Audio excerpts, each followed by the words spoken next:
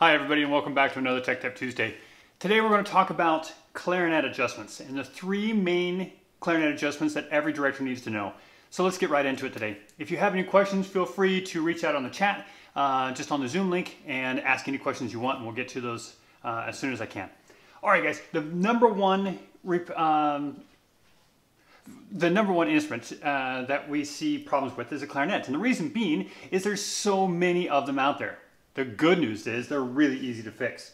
The three main adjustments we worry about is the this little screw that sticks up on top of the G sharp key that every kid is out there that says, this is like the red button, I gotta push this thing. What's this big screw out there for? And they take a screwdriver to it and start messing around with it. And all of a sudden their clarinet doesn't work. So this is the easiest one to fix. Let's show you how. Wrong one. So this is the screw I'm worried about, right up here on the top of the G sharp key. And when it's screwed down too tight, what happens is the, the key here is the G sharp is open over top of the A. What we want is I want a little bit of room in the A to wiggle. But do you see as soon as I start moving, I'm going to roll this around so you can see that a little bit better. As soon as I start pushing the A, the G sharp takes off. There's no movement in it at all. So if I use my feeler gauge, and if you don't have a feeler gauge, you need one. I've got a video out on YouTube on how to make one of these guys we drop this feeler gauge in underneath the G sharp and there is nothing here. I can actually spin this thing completely across. There's no, no touching at all. So that's why this doesn't work because the G sharp is always open. So what you do is you take your screwdriver, you drop it inside of this little screw right there, if I can find it. And we just back this off a little bit. And what I want is I want a little bit of movement in the A before the G sharp takes off. I don't have it yet. Move it off just a little bit further. There we go. Now if you watch this, I can move the A. No, maybe I can't. Nope, I still want to go a little bit further. That was really tight. There we go. So now if you see this, I can wiggle that A a little bit before the G sharp takes off. And that's what I want. And now if I come back with my feeler gauge, I'm to drop the feeler gauge in here and now I've got some tension on that pad. So I'm to check make sure I can feel tension pulling on all sides of that pad, which I can. Check your A as well, making sure it's down where I want. And that is all there is to that adjustment.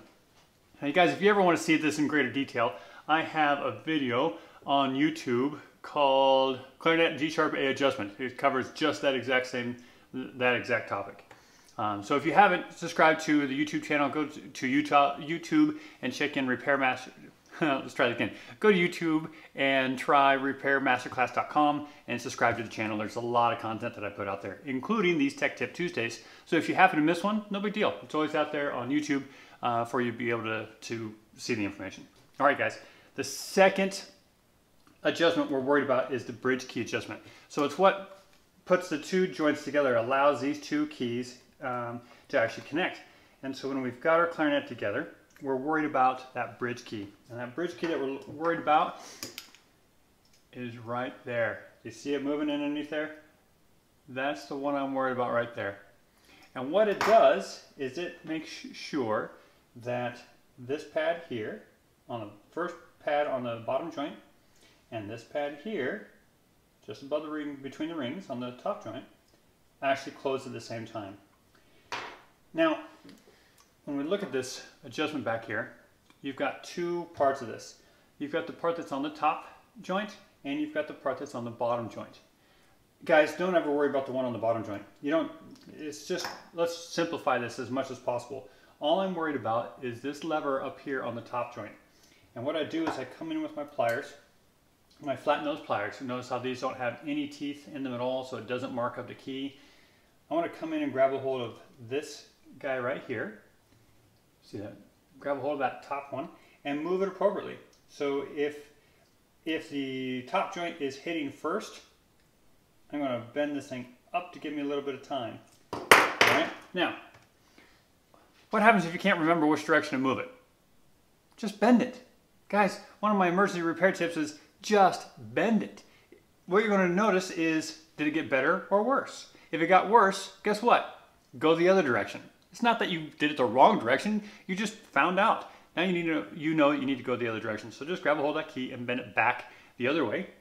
and see if it makes it better. If it does get better, but we're still not quite there, keep going, right? It's that simple. Just don't be afraid of it. Grab a hold of the key and bend some metal. It's just metal. It'll move, don't worry. So once we have that um, moved, we're gonna come back in and check our adjustment again.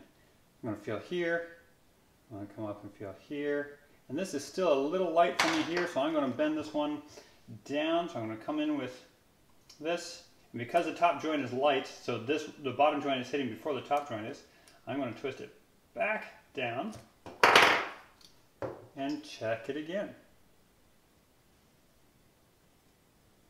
And that about does it. So that's as easy as it is. So, so often um, players will come in and say, I can play everything in the top joint, but I can't get anything going in the bottom joint. I immediately know what's going on. It's this bridge adjustment. If it doesn't play into the bottom joint, it's this bridge adjustment. That key just got bent. And how does it get bent? The thing is out there in a long ways, and either when we're putting it together, we've hit the keys and bent it, or when I'm sticking it back in the case, it gets bent. It's no big deal. Just grab a pair of pliers and bend it back. All right, the third adjustment I'm worried about is down here on these big four spatulas I use on the bottom joint of the clarinet. And I'm specifically worried about this one here. So out of, out of these guys, the top here has what's called the crow's foot. So if we look at this lever here, oh, sorry, sorry, sorry, sorry. If we look at this lever here, underneath that, you've got this weird looking foot that touches both this spatula and this spatula here. And it's that foot that I'm worried about. What is happening is when I push down here, it moves both of these pads together. So again, I go back to my feeler gauge, slide my feeler gauge in underneath there. And I've got some tension there. And if it's loose on this one, I know I need to move this foot. No big deal. Grab your pliers, come back in uh, and grab a hold of this foot and then just twist. All I'm worried about, you can, you can do two things. You can twist up and down this direction. So if I take this foot and bend it this way or this way, I'm going to make adjustments on this lever. But I'm also going to make adjustments on this lever. Now the worst thing that's going to happen is I'm going to be able to, this spatula is going to move a little bit before this one does. And it's not the end of the world, it's, it's not, yeah, it's not the end of the world. Um, your clarinet will still play just fine. It just won't play, as, it won't feel as good. But instead what I want to do is I want to bend it this direction. I actually want to bend that foot up or down. So I grab a hold right in the middle and I put a little bit of flex in that. Notice I didn't have to go very far. Come back and I test these out. I test this guy, test this one, and now what I've got is this one is this one is hitting way before this one. So I'm simply going to grab a hold of that. That's my feeler gauge rolls around and bend it back down just a little bit. Again, notice it's not, I'm not flexing this a long ways. This isn't ginormous, huge movements. Oh, now see, I actually, I overdid it even with that. Bumping cameras and everything here today.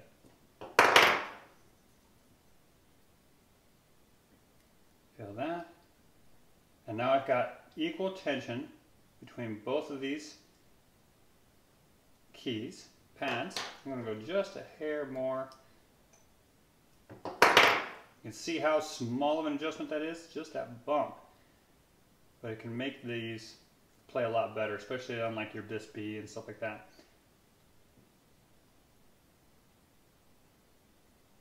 Come on, get in we went just a bit too far.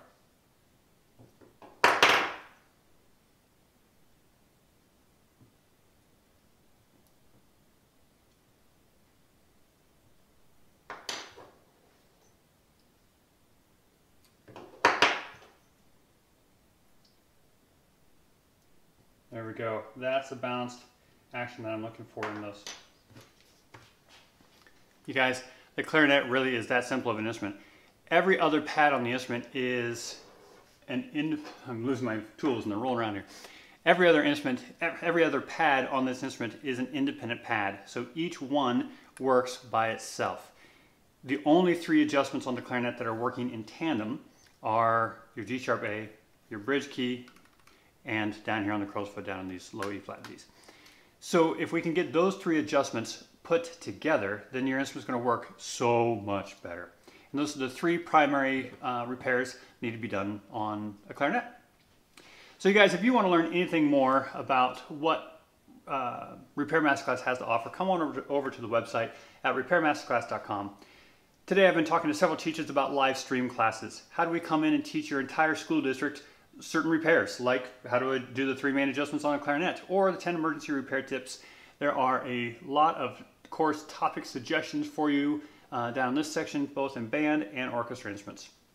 We also have our premier course, which is our hands-on class, and that's coming up here pretty quick, guys. It's coming up April 4th through 6th for the band and 7th through 9th for the orchestra. So be sure to come over to repairmasterclass.com and check out all the information on that.